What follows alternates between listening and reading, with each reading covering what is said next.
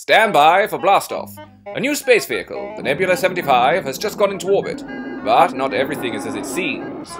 The stars of this production, Commander Neptune, Circuit, Dr. Asteroid, and mysterious Space Maiden Athena, are not flesh and blood, but marionettes brought to life through painstaking artistry.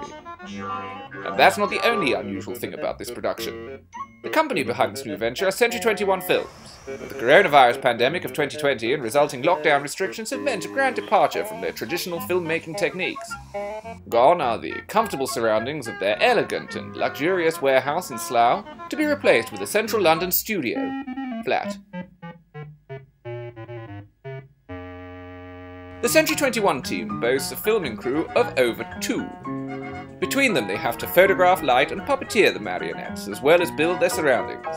But even in these difficult times, this film unit receives outside help. 400 miles north, in the beautiful surroundings of Preston, the real star of the show, the intergalactic spaceship the Nebula 75, takes shape. And, after many days of careful construction, the vehicle is ready to be packed and shipped to London before going in front of the cameras. Carefully delivered by the friendly neighbourhood postman, only a few minor repairs are needed to make the craft screen ready.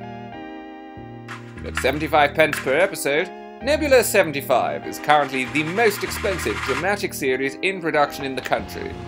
But even with a lavish budget, it takes time, skill, and patience to get it all right. Pretty good. In the first episode, the Nebula 75 is flung to the far corners of space. Here they will encounter many new forms of life, but are they friend or foe? Who is beautiful space maiden Athena? Will the Nebula 75 ever return home? We can't tell you, but just ask the bloke upstairs and he'll be able to fill you in. Ah, keep it down.